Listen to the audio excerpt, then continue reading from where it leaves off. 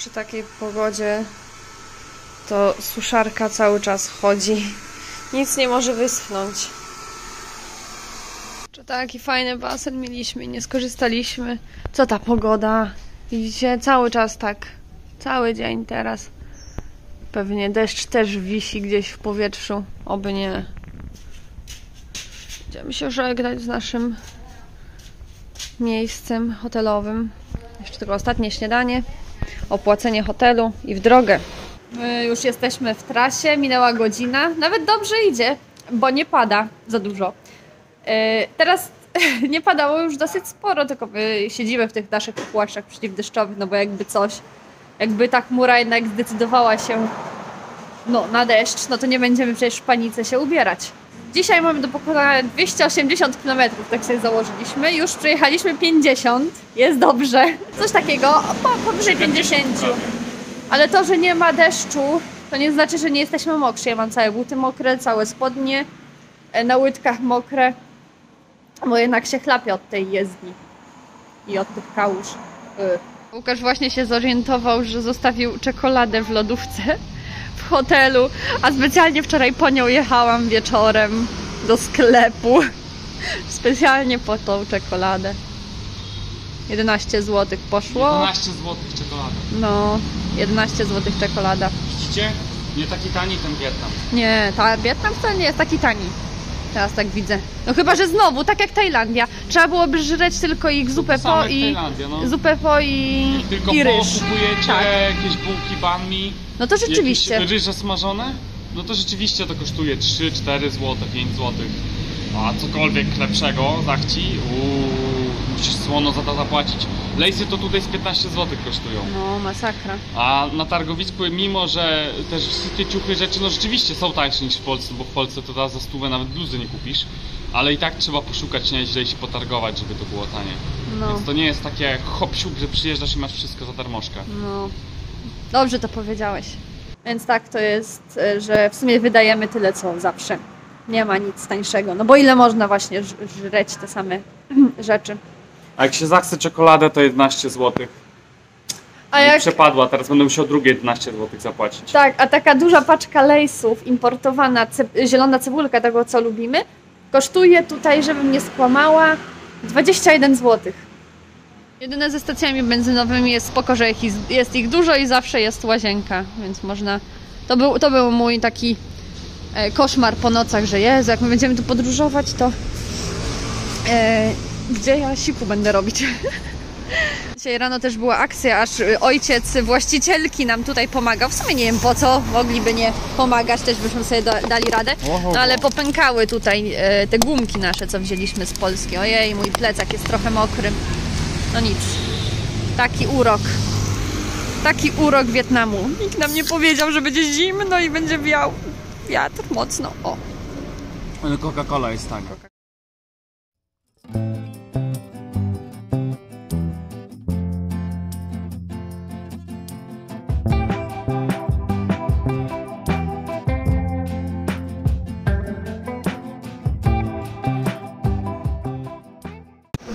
Trzymaliśmy się na jedzonko i pani nam pokazuje, jak się tutaj je. O, tak. Aha. A, okej. Come on. come on, come on. Mamy przerwę na trasie. Zgodniliśmy i stwierdziliśmy, że czas, tyle mają tego bankseo, bankseo, że spróbujemy w końcu. Czyli takie mamy placuszki fajne. Tam w środku są przyprawy i mięsko. Widzicie, panie mają taki tutaj zakątek. Tu jest reklama, że jest bankseo. I tyle wystarczy. I stolik. Tutaj taka kanciapa. No i co jeszcze zauważyliśmy, to w takich mniejszych miejscowościach, takich na, na drodze, to oni cię nie oskamują. Tutaj nie skamują, tak. No Tu, super. tu są fair. Tak, tu są bardzo fair. Mhm. Zapłaciliśmy za takie super danie całe 50 tysięcy, czyli 9, było. 10 placków takich 9 złotych. Fajne, dobre. Patrzcie, jak już mają samochód, to też się pakują tak samo jak skutery. Tam chyba. Ile tam? Ja bym powiedziała, że prawie 10 osób. I tam w środku już tyle siedzi. 12. 12 osób do jednego samochodu. Dobra, przerwa, bo nas z dupy bolą. Mamy jeszcze dwie godziny jazdy do naszego celu. Jest godzina prawie 16. A Przyjechaliśmy znowu na taką kawkę, już tutaj byliśmy, herbatka jest najlepsza herbata imbirowa. Tutaj jest herbatka imbirowa i w środku ma daktyle, ma na- nasiona goja, ma liczy. Bardzo dobre, bardzo Ale dobre. mocno. Tak. Łukasz sobie zamówił espresso z mlekiem skondensowanym. Tutaj taka miejscowa, teraz można pokazać. Jak deszcz nie pada, jeszcze słońce świeci. Zamierzam zapierdzielać. Fajna tutaj. Happy New Year. Sarenki na wejściu. Fajnie.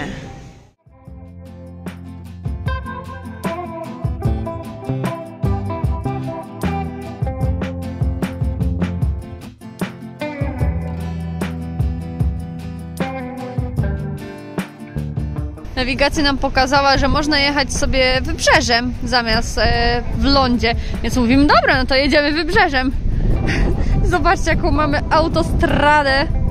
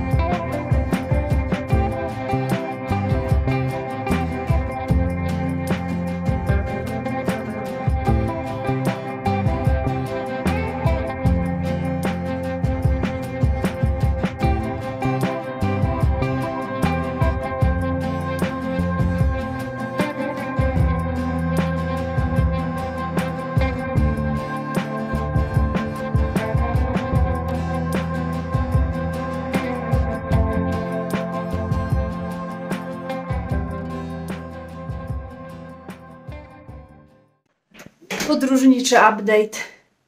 Dojechaliśmy, zrobiliśmy dzisiaj taką trasę, co zrobiliśmy ostatnio w dwa dni. Wszystko przez ten deszcz. Od razu dzisiaj o wiele lepsze warunki do jazdy i udało się. No dobra, cały dzień w trasie, bo jest niedziela i można sobie na to pozwolić. Jesteśmy wykończeni, ale tak jeszcze okej. No ale jest, udało się. Nasze bagaże. Mamy taki hotelik, pokoik na jedną noc z widokiem na morze. No na jedną noc, no będziemy jutro się zachwycać widokiem na morze, bo teraz to już ciemnica jest, wiadomo. Ale pokażę Wam po prostu kran w życiu takiego nie widziałam. Jak lampa Alladyna. Taki kozacki. Tutaj się pyk, pyk. Mamy naszą hotelową chihuahua, ale się wystraszyła właśnie Łukasza. O, zaciekawiona. Ale się cyka trochę. Łukasz tu próbuje się z nią bawić. O.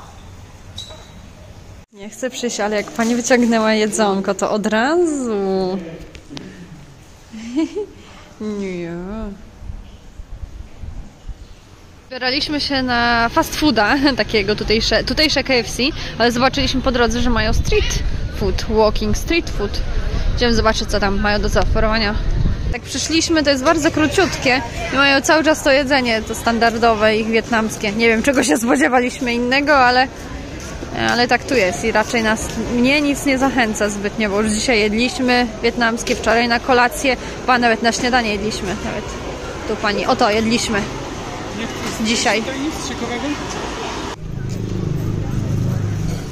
Finalnie skończyliśmy na ichniejszym fast foodzie KFC. Tutaj można kupić takie portugalskie ciasteczka. Ostro. Przy okazji, że zaszliśmy do sklepu i się okazało, że to jest taki ogromny market. Pierwszy raz widzimy e, tak ogromny market w Wietnamie. A tak z ciekawostek, to ten sklep to Coop Market. Czyli wiecie, ta nasza sieciówka europejska, to chyba szwedzka albo szwajcarska, nie jestem pewna. Znaleźliśmy tego sławnego kaktusa, który na drugim miejscu ma cepisa. Włącz go.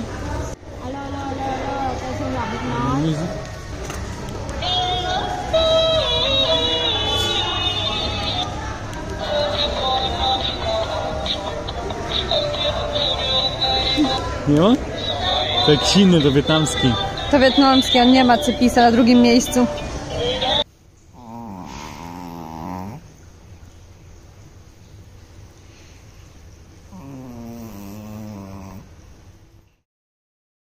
My już się tutaj pakujemy na kolejny dzień przygód na skuterze.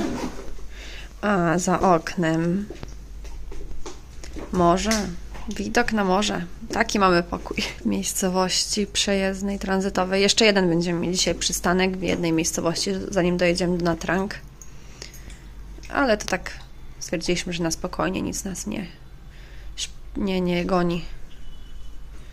Dobra, zostawiamy jeszcze plecaki w hotelu. Idziemy się przejechać po mieście. Próbowaliśmy znaleźć jakieś takie śniadanie, co przypomina europejskie w lokalu, ale tu nic takiego nie ma. W takich miejscowościach musimy jeść przy stoliczkach malutkich. O takich. Dostaliśmy jakiś zestaw, ale śniadaniowy. Udało się. Możemy konsumować w spokoju, ale było ciężko. Nic nie kumają, na migi nawet. W sumie tak zauważyłam, że jeżeli nie zwiedzamy, nie mamy jakichś punktów które musimy zaliczyć, to nasze życie mija od restauracji do restauracji, od baru do baru. I tak podróżujemy, zmieniamy miejsce, bo teraz na przykład po śniadaniu przejechaliśmy się oczywiście na kawkę i herbatkę i kawkę. To już standardowo do każdego zamówionego napoju dostaje się taką herbatkę. W sumie nie, wie, nie wiemy co to jest, ale smakuje jak herbatka, ciepło jest. I taka kawiarenka, więc widzicie, można elegancko w Wietnamie też usiąść, ale to tylko i wyłącznie kawiarnie, jak zauważyliśmy. I czasami są lepszych miejscowościach to takie restauracje. Ja ostatnio cały czas w tym Wietnamie piję ginger tea. To jest na pierwszej pozycji u nich w herbatach i zawsze jest takie pyszne i tak fajnie pali w gardziołko, idealnie na te pogody. No dzisiaj akurat ładnie jest, no ale dalej zimno, zim, zimnica. Kawiarniach to bardzo często jest tak, że oni przychodzą, siedzą, piją kawę i grają na telefonach. Albo siedzą na telefonach jak ten pan naprzeciwko, albo ja. Jeszcze jedno, co też zauważyłam, że oni sobie lubią tak ściągnąć buty i tak sobie nogi do góry dać, pomasować sobie nogi, na boso posiedzieć. No co, jaki kraj, taki obyczaj. Jeszcze nawiązując do poprzedniego, co mówiłam, to nie to, że nie można tutaj znaleźć jakiejś restauracji. Można, bo wszędzie są restauracje, tylko chodziło mi o tej godzinie porannej i takiego coś obiadowego, to tu yy, śniadaniowego. Tutaj w ogóle nie da rady czegoś takiego znaleźć. Dlatego siedzieliśmy w jedynym, co jest otwarte o takiego porze, czyli takim właśnie bistro. Bo restauracje to do wiadomo, dopiero później się otwierają. Tam głównie seafood, seafood, różne rzeczy. A kawiarnie od rana do nocy po prostu funkcjonują. Co 50 metrów kawiarnię można znaleźć. Sprawdzam opony. Tak, teraz już Łukasz profilaktycznie co 15 minut sprawdza oponę.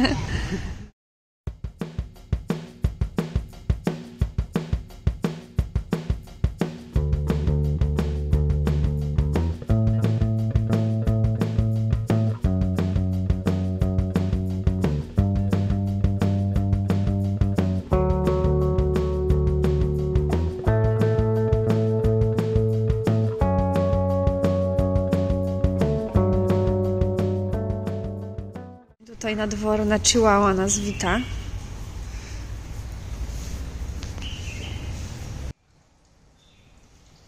I tu w ciszy przygotowujemy skuter do drogi i nasze bagaże. Tu pani ołtarzyk szykuje jakieś modły, a tam Chihuahua pilnuje. O, ale siedzi sobie damulka.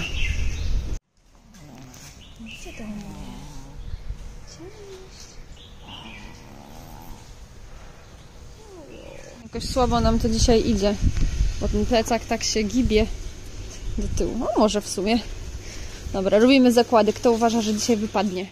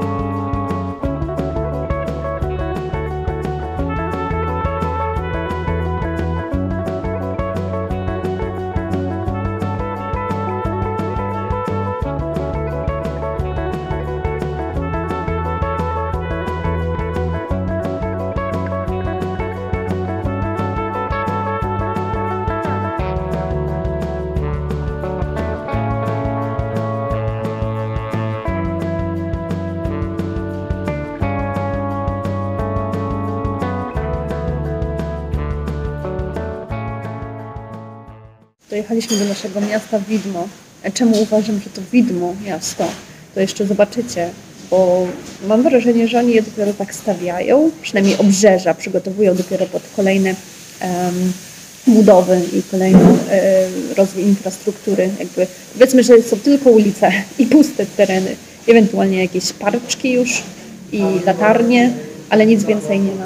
Więc dojechaliśmy do tego miasta, myślałam, że będzie gorzej. Myślałam, że będzie y, puste dosłownie, nie znajdziemy nic do jedzenia, ale oto jest jakaś restauracja, chyba Turek ją nawet prowadzi, tak się wydaje.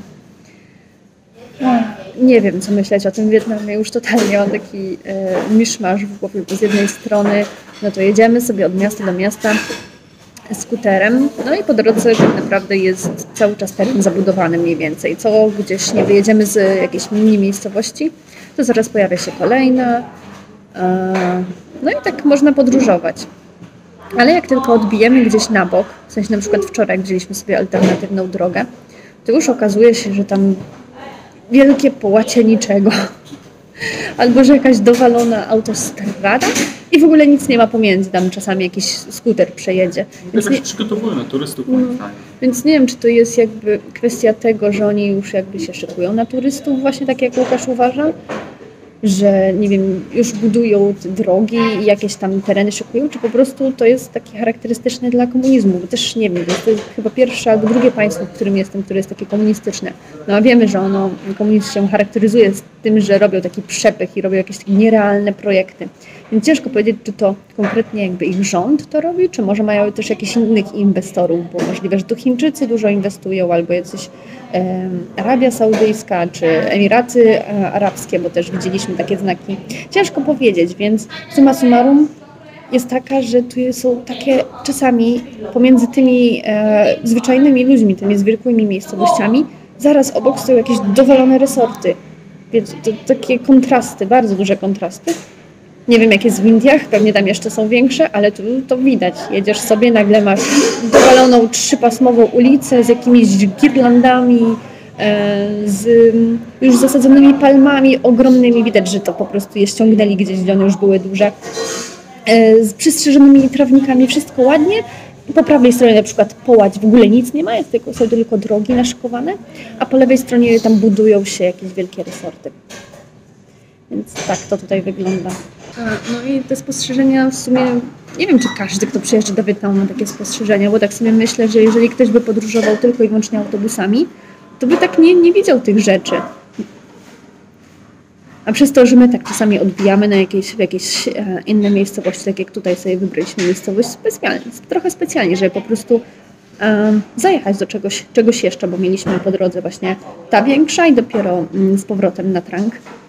A nie będziemy przecież znowu siedzieć trzy dni na Trangu, więc sobie stwierdziliśmy, dobra, zróbmy sobie tutaj przerwę. No i takie właśnie widoki, jak opisałam, nas przywitały, czyli wielka ulica, nic dookoła, ewentualnie jakieś mini właśnie e, budowy. Jakiś gościu cieci siedzący w budce pośrodku niczego, tak, to też było takie. Więc no ciekawie jest w tym Wietnamie. Ciekawie. My dzisiaj niekonwencjonalnie zaczynamy od takosów. Bardzo wietnamsko, ale ile można jeść wietnamskiego jedzenia? Już jedliśmy dzisiaj. Znaleźliśmy sobie taką knajpkę. Wyglądają na smaczne. Dobra, jeszcze przyszła w trakcie pizza, czyli bardzo wietnamsko. Nowy dzień, 31 stycznia. Witamy. Zaczynamy e, od śniadanka. Znaleźliśmy takie same jak wczoraj. Podają tutaj na takim gorącym półmisku te nasze jajeczka. I bułeczki też są zawsze ciepłe. Powiem Wam, że jedyne na czym zależy tym Wietnamczykom poza dowalonymi ulicami i placami to są kawiarnie. Tutaj się prześcigują po prostu. Co kawiarnia to jest lepsza. Dokończę moją myśl. Kawiarniach oni się bardzo prześcigują. Każda jest taka niezła, dowalona. Ma parę poziomów i zawsze jest multum ludzi. No jest sporo takich rzeczy, których my, Europejczycy, Polacy nie zrozumiemy.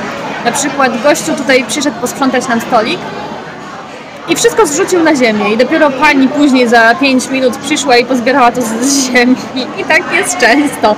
Albo w ogóle sami Wietnamczycy siedzą i rzucają śmieci na ziemię, później ktoś to ewentualnie posprząta. Z takich ciekawostek to bardziej, każda bardziej licząca się restauracja ma takiego swojego pana stróża, który pilnuje skuterów, wyciąga je, pomaga ludziom w, w siadaniu, w parkowaniu. I to jest popularne, bo podobno... Podobno to przez to, że tutaj bardzo dużo kradną skuterów.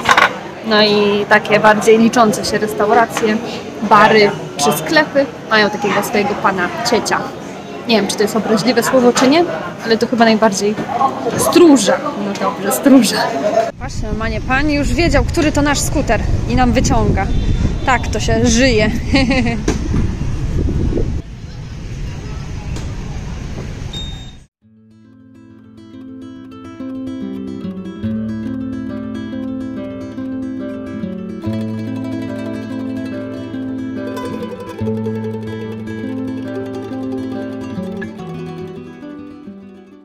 o co chodzi, niby chyba parking, ale gościu się boi zagadać o kasę zapewne. Może akurat tutaj e, obcokrajowcy mają lepsze przywileje, ale zobaczcie jaki tutaj wielki plac. O co chodzi? Tu niby jest skrzyżowanie, ale zero lin, nie wiadomo co i jak. No, mi zdjęcie zrobił.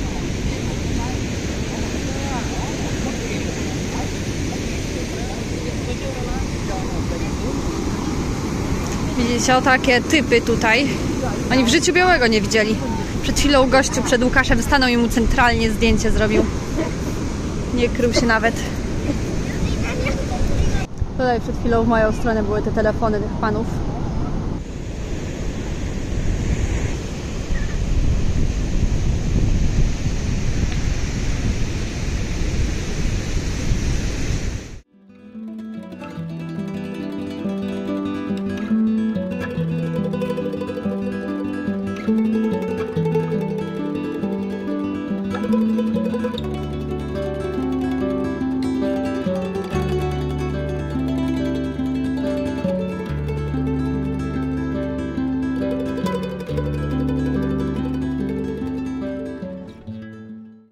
Próby przed wyruszeniem.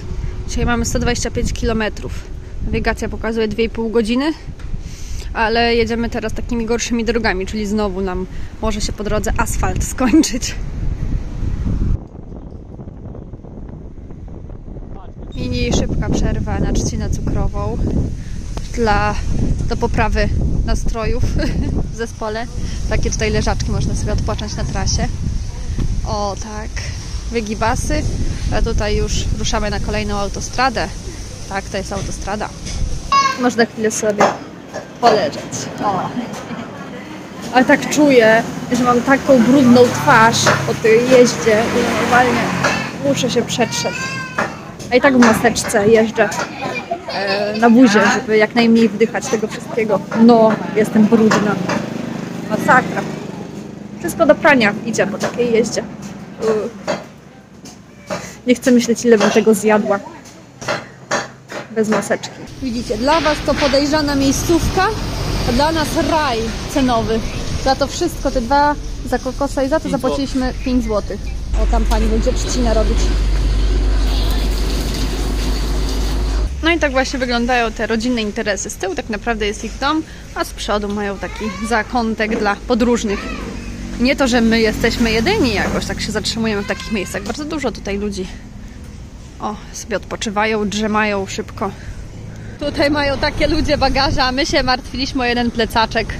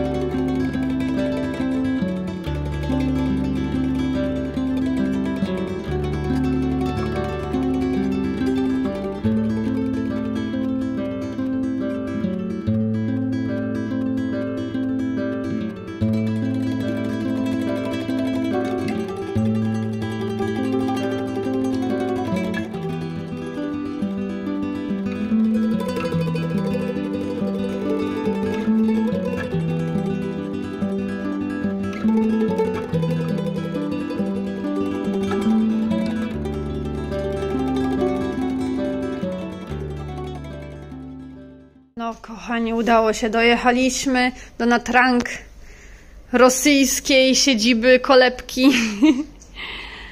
Jesteśmy. Taki nasz hotelik. Akurat z widokiem na góry, ale to nic nam nie przeszkadza. A dodatkowo z widokiem na lotnisko. Stare lotnisko. Mówisz, że balkon niezły mamy? Uuu. Nawet to jeden na jeden nie ma. Pół na pół metra. Ale jest balkonik. O, i widzicie, to jest o, to, o czym mówię, że nagle jest takie połać, połać terenu, jest wszystko zagospodarowane, czyli są latarnie, jakieś drzewa, chodniki, ale nic tam więcej nie ma. I tak właśnie jest w tym miejscu. Na drugą stronę i widzicie to samo. O, tu nawet jest plac budowy. Kostkę układają, ale nic więcej tam nie ma.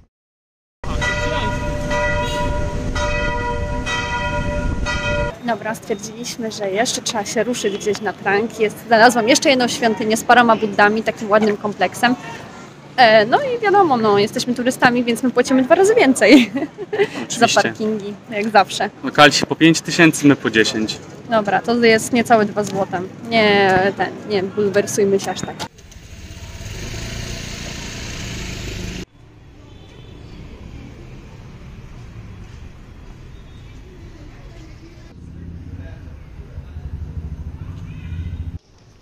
My żadnej wody nie wzięliśmy, co? Tutaj jakoś tak przyjaźniej do nas podchodzą.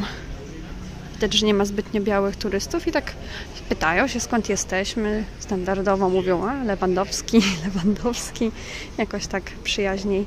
A Pamiętajmy, że to miasto jest oblegane przez rosyjskich turystów. I oni jakoś tak no, nie szczycą się zbyt dobrym zachowaniem w stosunku do innych ludzi. Więc tu jak słyszą, że jesteśmy z Polski, to tak jakoś od razu inaczej. Taki fajny kompleks.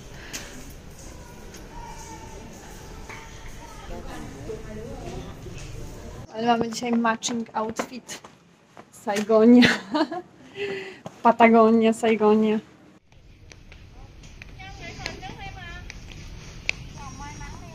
Standardowo. To nie jest tak, że jesteśmy w jakiejś super dzikiej świątyni w lesie. Tu zawsze coś się dzieje dookoła. Mały za 40, duży za 50. Panie Buddo. Jest ładniejszy niż ten w Phuket, biały Buddha. Pan tu sprząta. Widzisz, bo to buddyjska świątynia, od razu zadbana. Tutaj w zadku Buddy jest wejście do świątyni.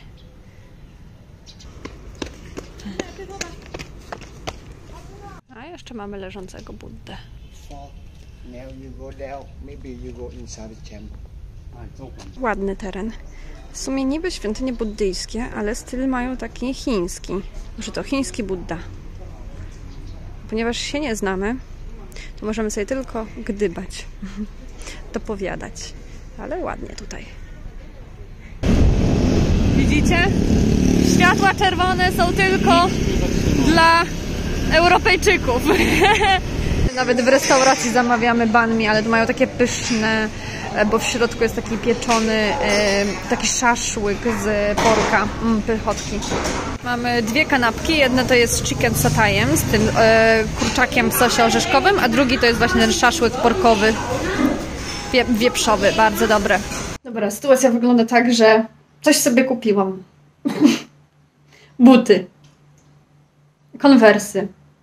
Za 100 złotych. Za 100 złotych, ale Bez targowania się na. bez targowania, ale to są oryginały. Na 100% to są oryginały. Patrzcie. Mamy ceny mamy w jenach, mamy pudełko chińskie z emblematem converse.com.china. Yy, nawet jest cena w jenach. Trzeba zobaczyć, jaki to odpowiednik możecie jeszcze skosił na tych. No i normalnie, eleganckie, no. 100% oryginalne. Naprawdę nic tu się nie ma do czego doczepić. Super są. No, jeszcze przyszły w pudełku takim. Znaczy przyszły, kupiłam je w pudełku, więc no wszystko jest jak powinno być. Converse, proszę, O, wszystko po chińsku z tyłu jest. z Chin. No jest, China CS małpa converse.com. Wszystko jest. Tak jak nie udało się nam pokąpać w Hoi An, bo cały czas padało, tak tutaj też sobie wzięliśmy hotel z basenem, no i Łukasz już musiał, musiał, bo inaczej to byłyby pieniądze stracone.